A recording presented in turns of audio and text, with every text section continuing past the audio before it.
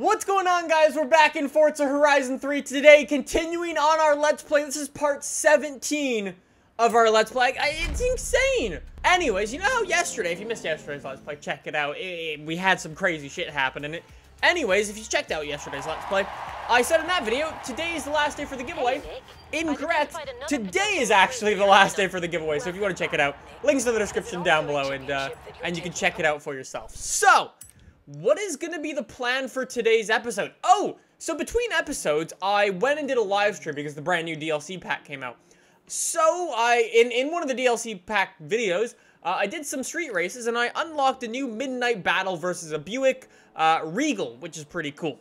That means the uh, the NSX, the RX-7 is pretty close. I think it might actually be this one. That's the that's the RX-7 one. So potentially, if we do two more street races in today's video, like that one looks fairly easy, and I mean, I think then we would need to do more head-to-head -head races. Yeah, we have we have to do seven more head-to-head -head races. Actually, we've got one right there. We could totally do the RX-7 today. Shit, I want to do the RX-7. So we're going up against a Buick, right?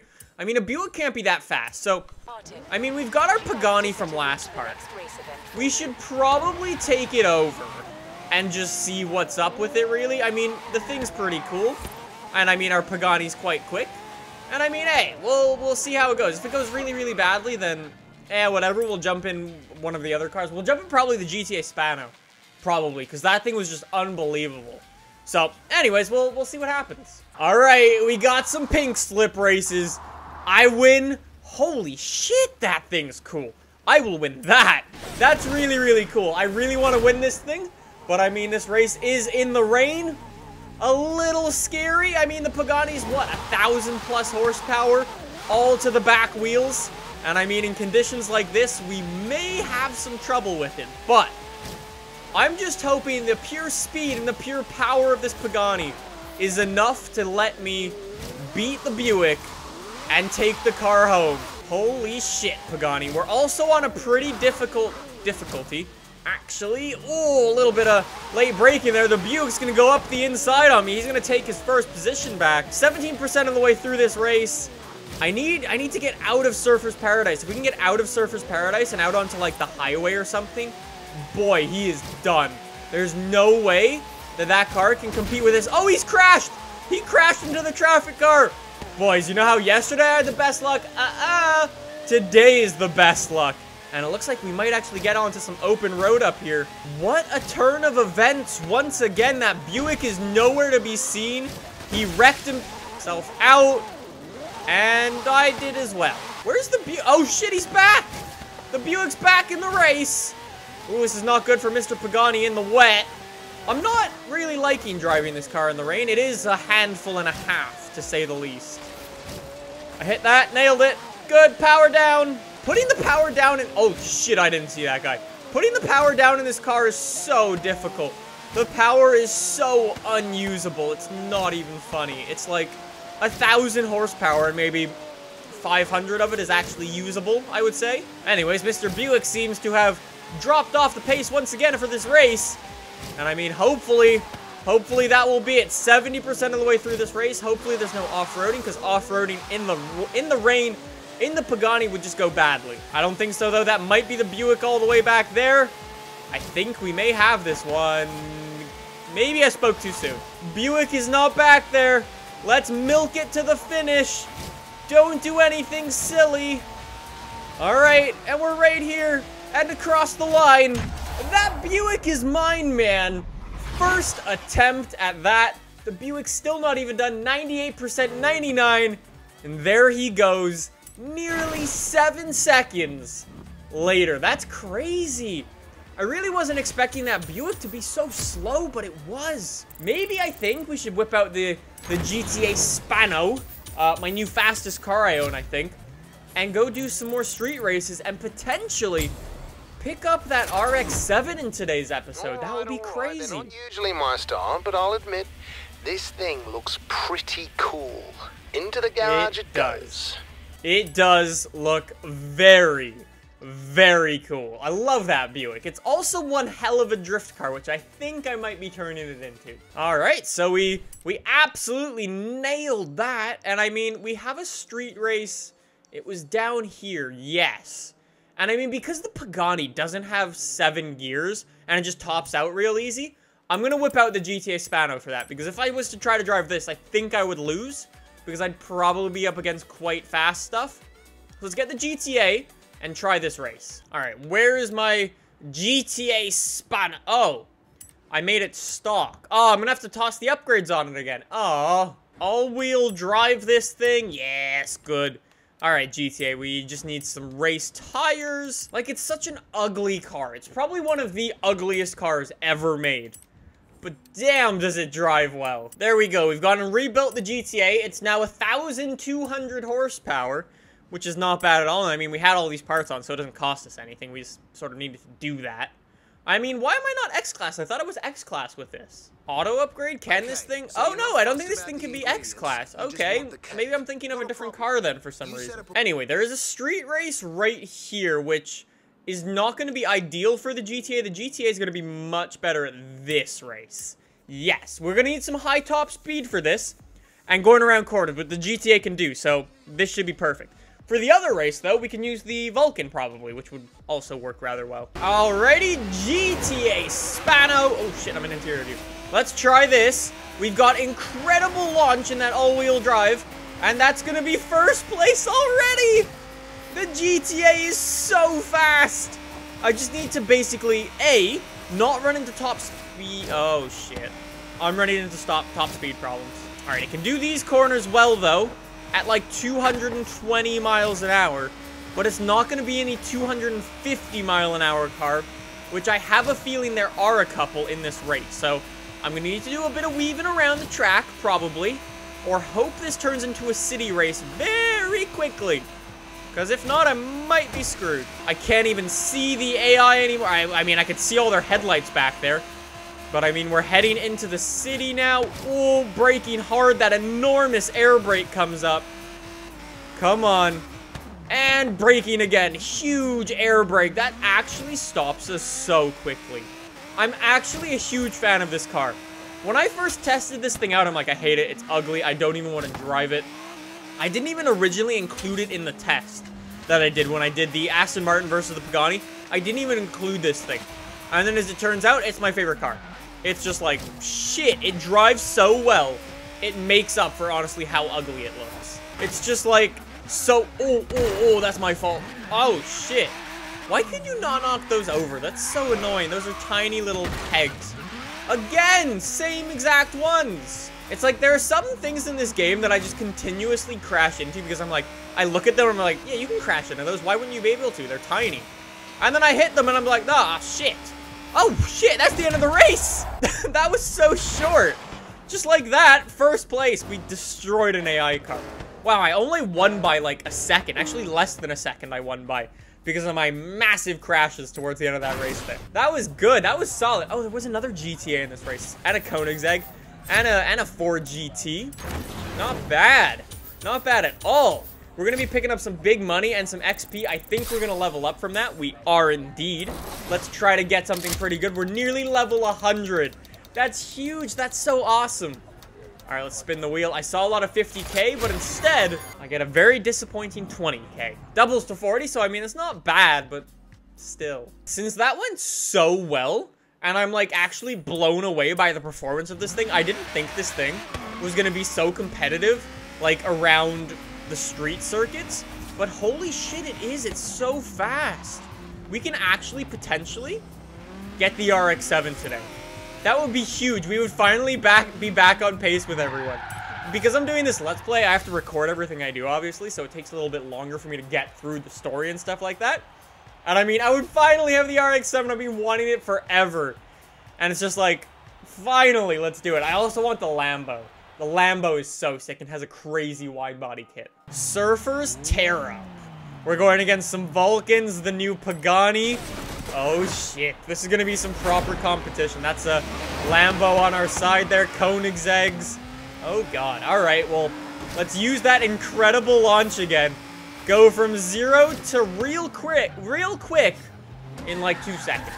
It's unbelievable, this car. I'm actually so blown away by its performance. I love this thing. It feels really good to drive as well. Seriously, if you are like me and you were just saw this thing and you were like, no, I don't want to drive that, seriously, give it a chance. GTA, we need some, uh, some top speed right here as we, as we head down the monorail tracks. We gotta get out of here. Smooth is the most important thing in this game, I've noticed. We gotta keep power on, and it's like, I don't know this track. I have no idea where I'm going. I've gotta keep looking down at the map, and I'm so scared I'm gonna crash into a traffic car when I do. That's the thing. All these midnight races are during midnight, and they're not like proper Horizon races. And it means like there's traffic on the track and stuff, and you can crash into them so easily or overshoot your corner. But because you have a massive lead and an incredible car, none of the AI will actually overtake you. Good. It's like, look at that. Goodbye, guys. We're just gone. This thing flies. Move out my way. Nearly done already again. And just like that, with a couple corners done, that's to be another big first place. I want to make sure I'm on the hardest difficulty in the game because it doesn't feel like it. It's like we're wrecking shops so bad. It might be because of this car is just so good, but I I really don't know. It's just, it's a good car. 8,000 XP for that is actually not that much, but we're so close to level 90. I want to hit 100 so bad. I want like the silver badge or the gold badge. Be so cool. Another midnight battle shaping up. Uh, maybe I'll start some midnight mechanic battles. Or midnight car trivia. I could probably win that. Thank you, Warren. Let's head down and try to take this RX-7 in another pink slip race. If I can pick up this car, that will be so huge. I wanted this car for so long. This RX-7 is awesome. It's got one hell of a wide body kit. I'm so excited. Midnight battle for our second pink slip race. It's gonna be GTA Spano versus Mazda RX-7. I'm finally gonna pick it up. I've seen so many other people with it. And I'm just like, I want it so bad. We're finally gonna get our hands on it. Provided we can win this race. We don't, I mean, there's probably something wrong with our car. And that that RX-7 would probably have a rocket ship as an engine. But I mean, let's see. We've... Yeah, he's gone. Goodbye! Oh, shit, shit, shit. That's a bit of late braking there. Didn't mean to do that much late braking through there. Oh, shit! The RX-7 right out of nowhere. Oh, shit. We're going off-road. I really hope his car's rear-wheel drive, because if it is, boy, are we going to pull again. We get to go all rally driver on the RX-7 here. Through the trees and off-roading some more. I mean, he stuck with us pretty well through there. But still, man. Holy shit, we hit an awkward bump there. The rear of the car got air. That was weird. All right, come on. Oh, shit, the traffic. 50% of the way through this race. We are so close to owning an RX-7. The RX-7 in this game is actually the rarest car in this game. It, I think it is the only car that is obtainable by players and not on the auction house. All right, well, I've pulled a like a sick 360 there, bro. Look how quickly catches up to the RX-7. It's just like, oh, hello, we're back again, even though we decided to do a little ballerina move on you. Um, okay. Well, that's not realistic for an RX-7. That's rear-wheel drive. Just saying. That's not possible, Mr. RX-7. 80%. Okay, well, he's binned his car.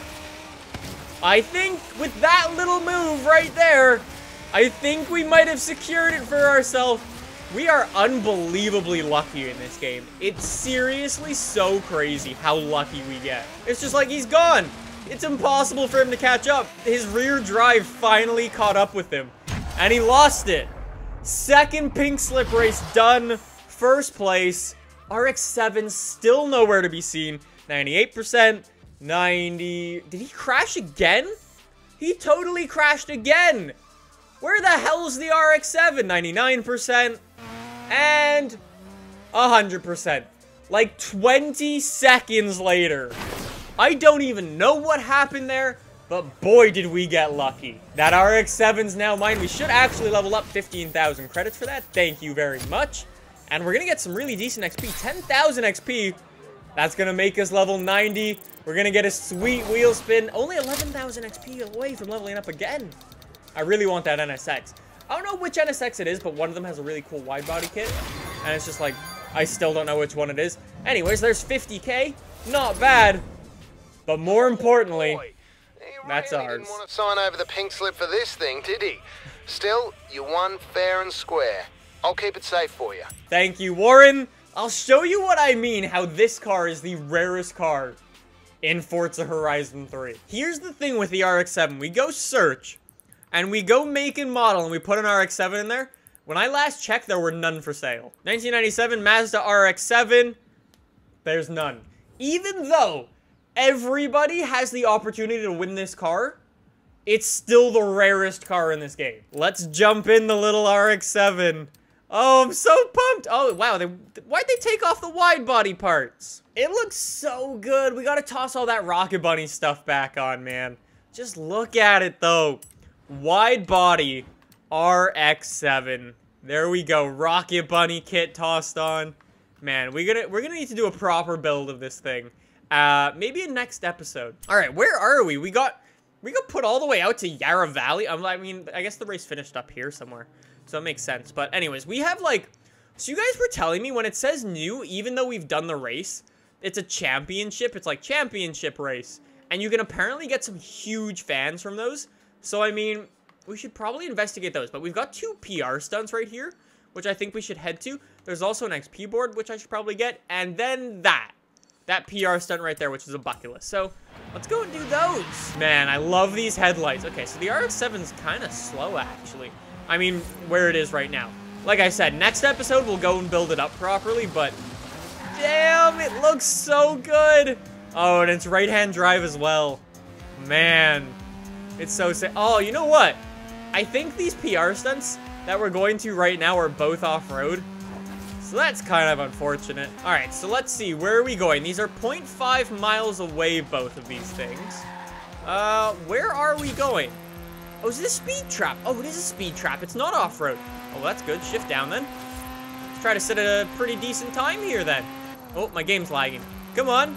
Nearly 100 miles an hour. The RX-7 isn't that fast. I will be honest. I mean, it's fun to drive and it looks awesome.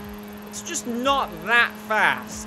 Anyways, I want to keep my speed over 100 miles an hour because that's probably one of the, like, restrictions or cutouts for, for stars. 104. That wasn't too bad. Oh, there's an XP board up here. Let's grab that. New personal best. I've, I've honestly never done that. Wow. One star. We earned 100,000 fans for Oh, it's right there. 100,000 fans for it. And we found a drift zone. What? What do you mean we found a drift zone? Was this a drift zone? Oh, shit, it is.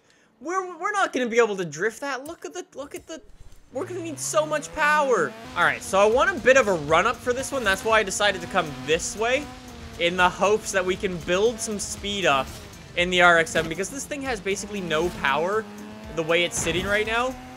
I mean, I'm hoping that this will help a bit. But I mean, ripping the handbrake at 100 miles an hour should be sufficient to get us some, some decent drift score, I hope. Provided we don't have to deal with traffic. It's like, it's so not powerful. I have no idea how much power is in this, but whatever it is, is not enough. We're gonna need to build this thing properly, and I'm very excited for it. I'm so pumped to get in there. I wanna get 40k. There we go, there's 40k. And the cut line. That should be hopefully one star at least. If not, boy, am I to be disappointed. It's a new personal best. I've never done that one before. One, two, two stars. Oh, boy, well, that worked out well. Uh, fast travel board right here. Thank you very much. Ooh, I crashed into some wood. And I mean, we picked up another 100,000 fans on that one, so we're to be able to expand another festival pretty soon. I mean, hopefully. I mean, we're, we're getting close to the end of this game. I'm super pumped. They're playing really good music in the background. I probably can't include it, as per always, but oh my god, the soundtrack for this game. Unreal. Race to the danger sign and smash the target distance. Really? You want me to jump the race car?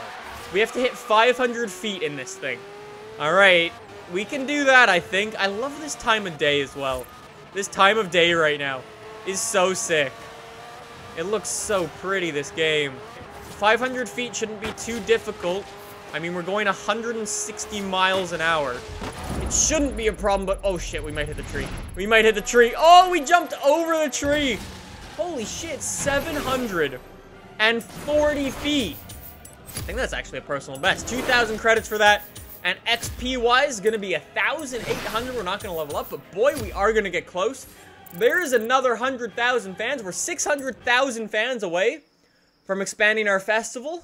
That's awesome. And I know I promised this a really long time ago. I said a while ago we would try to do a barn find an episode, and I completely forgot about me saying that. And one of the view one of one of you guys were like, "Hey, uh, you totally said this." I was like, "Oh shit, I did." So I just want to go wrap this episode up with with one of these barn finds real quick. Oh, look at that RX-7. It's like a boathouse, this one. That's really cool. What's going to be in here, then? It's going to be a boat-style car, maybe something big to tow a boat. That would make a lot of sense. Shall we? It's not really a boat tower. It's a Holden Monaro GTS 350, 5.7 litre V8, circa 1973. Sorry, it's just this is an emotional moment for an Australian. God damn it, Warren. Warren's always a funny guy. Anyways, guys, I am to wrap the episode up there. I hope you enjoyed it. If you did, subscribe down below. Check out the giveaway, like I said, in the comments description down below. Last day to enter is today. Make sure you get on that, subscribe, like the video, smash that like button, share it with your friends, and I'll see you guys in the next one. Bye!